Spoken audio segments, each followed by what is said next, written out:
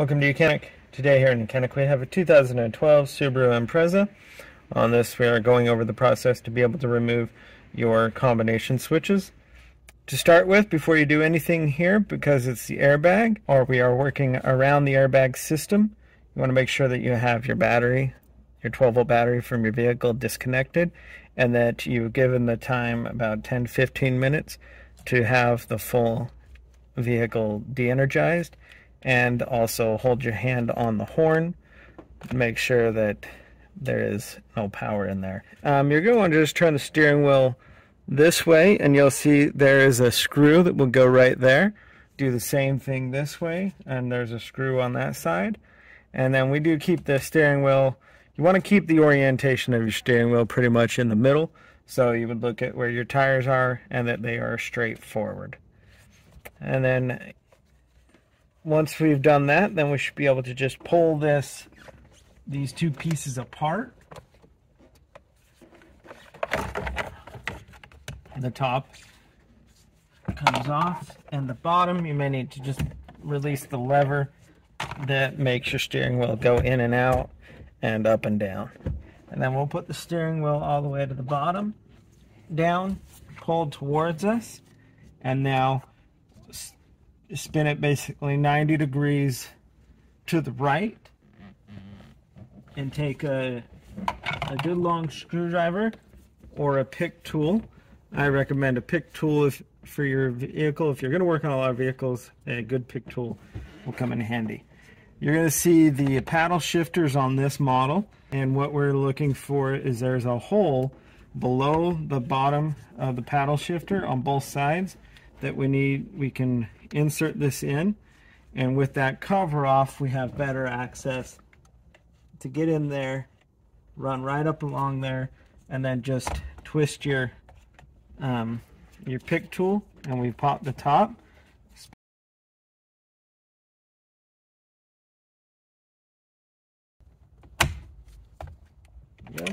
And if you're getting a lot, a lot of resistance, then you're not uh, hitting the right um, thing. There shouldn't be a major resistance, we're just popping it off. And then there's the one down here, and this you're going to take your tool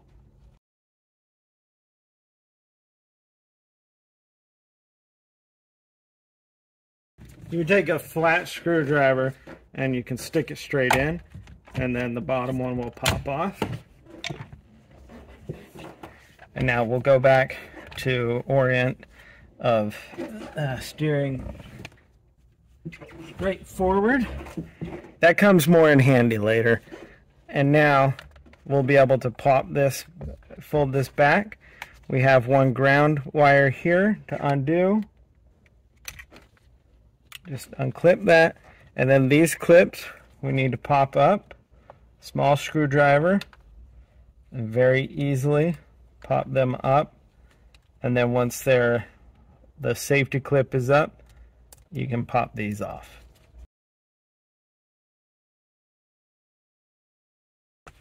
Go. And now that is the center airbag removed on your steering wheel.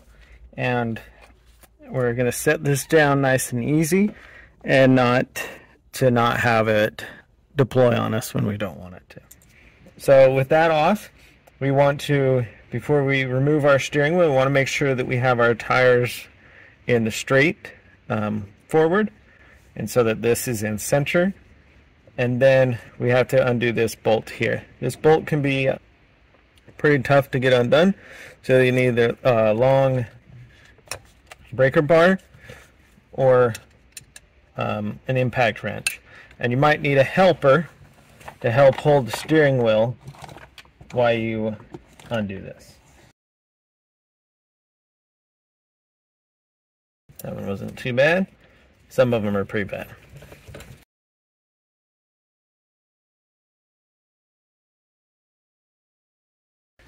Okay, so we got that undone.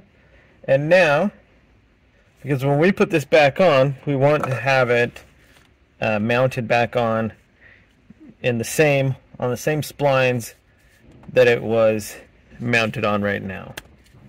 So I got a marker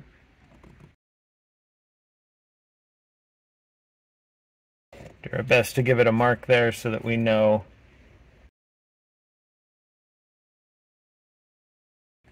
where it goes when we put the steering wheel back on. Now we want to unhook this electric. We have one connector here and this connects right into the clock spring and then one connector here. And those are all that we can unconnect because this is part of the clock spring which is your airbag. Uh, these what connect to the airbag. So we have those two electric connectors undone and all this electric here feeds your cruise control your paddle shifts and all of that. So now with that undone we'll be able to pull on the steering wheel. Again, it's it's got the splines on there, so it may take some uh, some force. Go. Just a bit of rocking it, and then we were able to get it to come undone.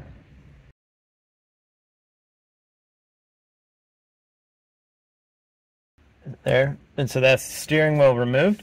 Now we have our clock spring here. This clock spring, you will need to replace it if you have a lot of airbag lights on and it can be caused by the, the tape inside here can break. Or if your uh, center airbag has gone off, these clips, a lot of times they get melted because of the heat that's generated when that airbag goes off. And so uh, they'll get melted into the, the unit and so then these are no longer good. And so you'll need to replace the uh, clock spring itself.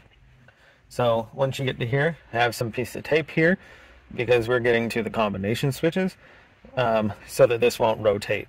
Um, we want to keep it where it was when we took the steering wheel off because we don't want to have it a, a revolution off and then that way when you turn you'll um, break the tape inside there and cause yourself some more issues.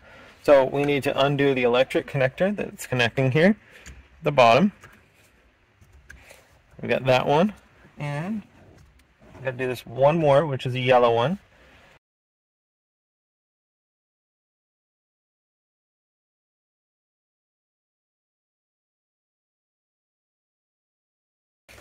This one has uh, two connections built into it to undo it. You slide this tab back and then you can press the unlock tab. So you slide that bottom piece. Make sure we get that undone. And then to get the rest of the clock spring off, we have just little tabs, one on both sides on the bottom here. And then one on the top here. And then this hole. One more electric connector here. There we go. So with all three of those electric connectors undone, and the tabs we can now remove our clock spring and set that aside. So this is your combination switch for the turn indicators headlights and, and so forth. And then this side is the one for your windshield wiper and all the functions that you to for your windshield wipers to work. This if you're having just problems with this you can replace just this piece as one unit and then this is the full unit on this side, the turn indicator and headlights. Now to get to this, of course, we have removed the uh, the center airbag, the steering wheel, and the clock spring to get to this stage. And now we'll be able to remove these components for replacement. We have one electric connector that goes to this side. Just press the tab, pull it down. We have two that go to this one. And we disconnect all of those electric connections. And then you can pull this off as one whole unit or we can pull and get this out of the way. So we just press the tab down in here in the middle and then we can remove this. And if you replace, if you need to just replace just this piece, this is um, all you'd have to do and put it, take your old one off, put your new one, and snap it right back into place. So to get the rest of this off, right up here in the middle, we have a spring that we need to squeeze. And as we squeeze that spring together, um, we also need to use something to pop up, there's a, a black tab right below it, or just a tab, and we need to pop that up at the same time as we're squeezing this clamp. And now be able to pull it off. And so that's the removal of this unit right there. All right, so here is the what it looks like from the back, and it would be flipped up like this. But what you're doing is you squeeze this to unclamp it, and then this is the tab that you would pull back, that little tab right there. We pull that back to be able to release it from the steering column. So that's how you get this undone and to be able to remove it off of your Subaru. And then when you're ready to put a new one back on, it's just the same in the reverse order. Being that we don't need to really release the tab, we can actually just take it up over it, line it up, and then you just press it on because the clamp will open up as you're pressing it on. If it's not working, then uh, just open it a bit and get it to line down and then lock the clamp back in place. And that has its little channels and grooves that's lined into. There we go. And so then now we can put this portion of it back on, which we just slide into place. Make the electric connections. And so that is the install and replacement of our combination switch and now um, we have our clock spring. We have it taped so that it doesn't move um, because we don't want this to get off the rotation. You have two and a half rotations that can go to the right and two and a half rotations to go to the left. It actually gives us information that there's only five turns in this thing. And so if you have this off by one revolution, then what's going to happen is when you go to turn, you're going to turn and you're going to turn too far and you're going to break the tape inside there and then um, your airbag light's going to come on steering lights are going to come on and you'll have to replace this. Now um, there's a couple things. We have a little arrow down here so it tells us where it should be. And also you're going to have this orange little roller in here. Uh, on this model this isn't on everything but this has an orange roller and that if that's in the window then you're in the right orientation of it being in the, the center where it needs to be for when you uh, install it on your, your steering wheel. So if it ever gets um, out of clock, being that this got rotated, you, these are the two marks that you'll want to mark up, is that little arrow, as well as you want that orange um, wheel that's in there to line up in the window. So with that being said, now we just take this, and this is really just um, line it up and press and lock it into place. It's got tabs on the top, bottom, and side, or the two sides. Then clip it into place. Then we have all the electric connectors to plug in. This big uh, yellow one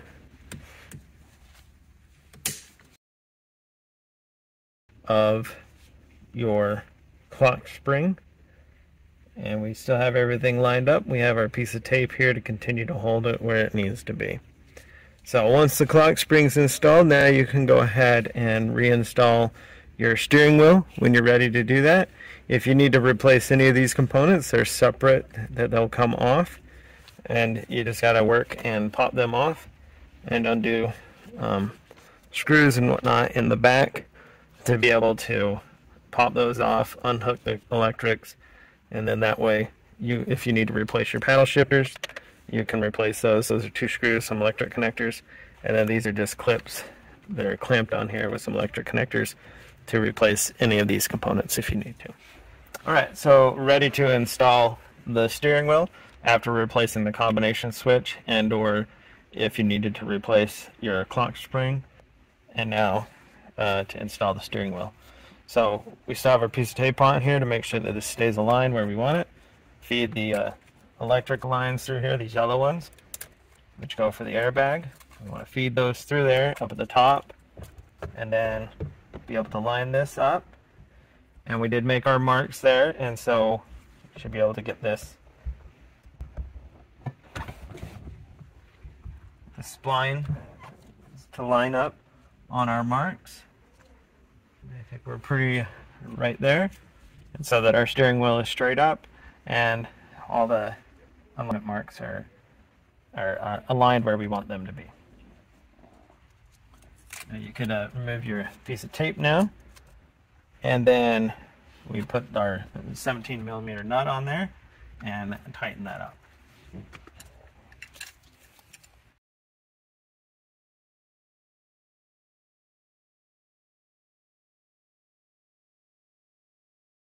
So we just make that good and snug, and uh, so because we don't want this to come off and then our steering wheel fall off. All right, make our electric connection connectors from the steering wheel to the clock spring mechanism that feeds all the information it needs. And so that would be the replacement of your steering wheel if you need to remove your steering wheel to replace anything behind it. And then when you're done with that, last thing we have is to put on the center airbag. Of course, we're still working with the battery completely disconnected from the vehicle and the car completely, um, the electronics de-energized. So to install this, we just need to line up the appropriate connectors. We have a ground one. That one just slides on and then it locks in. And then we have uh, color coded. This one goes in and then these are uh, press them in press the yellow tab in just uh, double lock it. And then we just line this up and press forward just like you were gonna honk the horn. And it presses those tabs aside and goes right in. And then it can't be removed unless you unlock it from the back. And so we've got the steering wheel installed. Last thing is when you put the little cover um, piece back on that covers this all up that you just put on and then turn your steering wheel and tighten the screw. Turn your steering wheel and tighten the screw on this side. And so that would be the replacement of the components. And if you were doing any of the work inside the steering wheel uh, being clock spring combination switches center airbag and or steering wheel. Thanks for watching YOUCANIC where you can be the